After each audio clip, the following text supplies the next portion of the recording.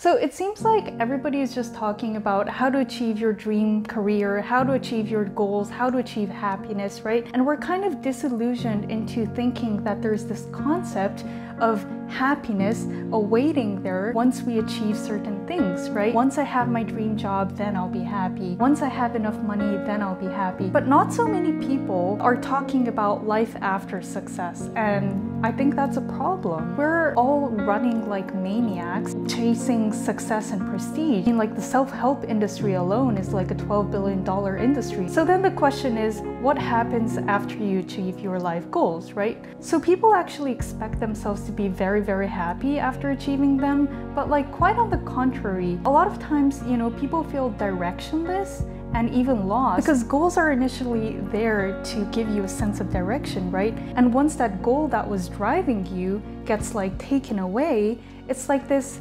emptiness almost that follows with it, right? And this is something that I've been really thinking about honestly for the past couple of months because I'll be transparent. I've reached a point in my career where I'm very happy and I'm becoming more and more stable, so I can afford to reflect what I've been doing the past 20 years. And so a lot of you know that I come from a ballet background, right? And I always wanted to become a dancer and I actually achieved that after like a lot of work and years. And so now it's like this 20 years of hard work uh, coming into fruition almost. And so then you think that there's like this glorious view from the top of the mountain, right? And well, you know, I wouldn't say there wasn't, there was. But what astonished me really was that this euphoric feeling only lasted for about like one or two months maybe three months. So let's just think about that for a second.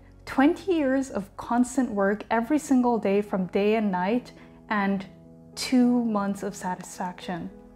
That's not much, you know? And so what happened was that as soon as I achieved my lifelong goal, I somehow got used to the circumstance and this kind of initial excitement wears away and that becomes a new normal, which actually is quite normal if you think about it from the hedonic treadmill perspective, right? So the hedonic treadmill is a theory in psychology where basically people return to their baseline level of happiness regardless of what positive or negative events happen to them. And you know, that's just part of human nature because it gives us the possibility to adapt to different situations and environments, right? Like it's homeostasis basically. It's it's like this self-regulating process to maintain stability in environments that keep on changing.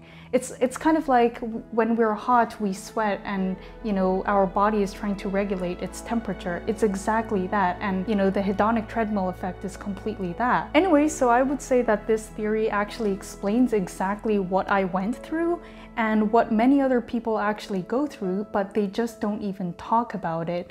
And I think we as a society are partly to blame because like, look at all those Instagram photos, right? I mean, I'm also part to blame, I'm, but if you really think about it, it's actually quite dangerous because it disillusions us into thinking that there's this dream world out there, like quit your nine to five job and just go traveling and everything will be rainbows and butterflies, but that's not how things work, right? It's really just like an illusion that we're sold. And I think this passion economy has many good sides, but there also needs to be this balance of positive and negative elements because you can't just be euphoric all the time because like your body is basically gonna crash. So then the question comes like, is it pointless to seek happiness, right? Well, I think it depends. Maybe it depends on how you define happiness, but I think maybe it's not necessarily the right question to ask and the right question to ask is what should we then be seeking after, right? And I think the answer is meaning. And then I started to ask myself, well, what is the difference actually between happiness and meaning, right?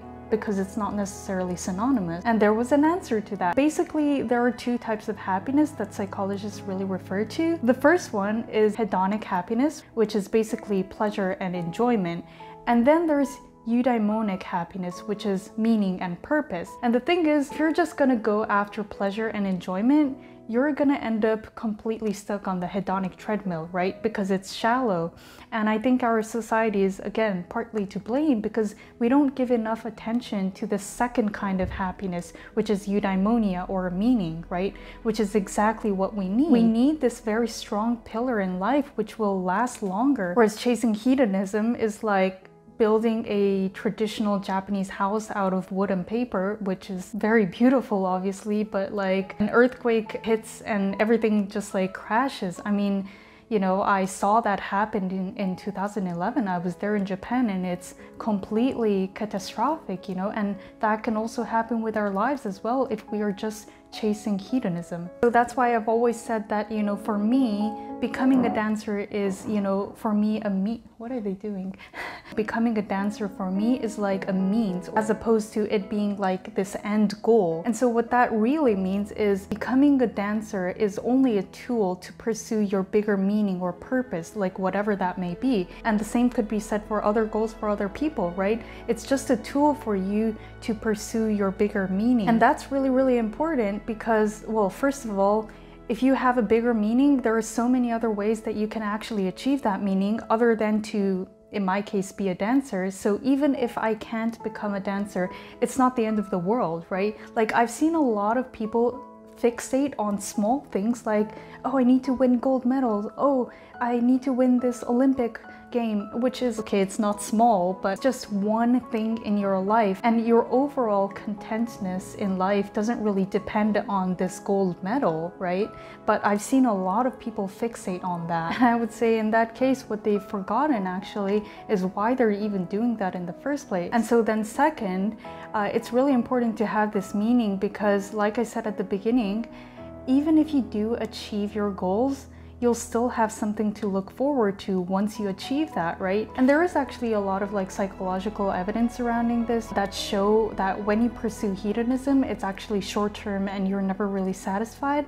But when you pursue eudaimonia, the effects are comparatively longer. So yeah, that's kind of my takeaway or lesson that I learned after 20 years of, you know, sacrificing a lot for my dream job, uh, working day and night, really traveling across continents and being very, very lucky also also to achieve that. I mean, please don't get me wrong. I'm not saying like don't pursue your dreams or don't pursue, you know, your dream career or forget about happiness. That's not what I'm saying in this video. But what I'm saying is that we should all be more attentive enough to see what's actually on the other side of those dreams or goals or happiness and to have like a long-term meaning because without that it's so easy to lose focus in the very small things and we all need a very strong foundation. So yeah, that's about it. Very long video maybe, uh, a lot of concepts in there, maybe a little bit of a mismatch because I was just like ranting on but I hope this video helped you uh, to gain a unique perspective and maybe you can use it as a guide too. Thank you for watching until the end. I'll see you next time. Bye bye!